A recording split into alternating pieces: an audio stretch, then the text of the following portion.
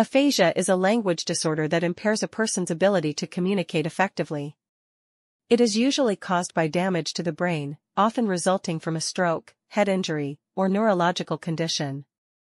Aphasia can affect various aspects of language, including speaking, understanding speech, reading, and writing. The severity and symptoms of aphasia can vary widely, depending on the location and extent of the brain damage. Some individuals may have difficulty finding the right words or forming coherent sentences while others may struggle to understand spoken or written language. In severe cases, a person may lose the ability to speak or comprehend language altogether. Treatment for aphasia typically involves speech and language therapy, which aims to improve communication skills and restore lost language abilities. Therapy techniques may include repetition exercises, word association games, and practicing everyday communication tasks.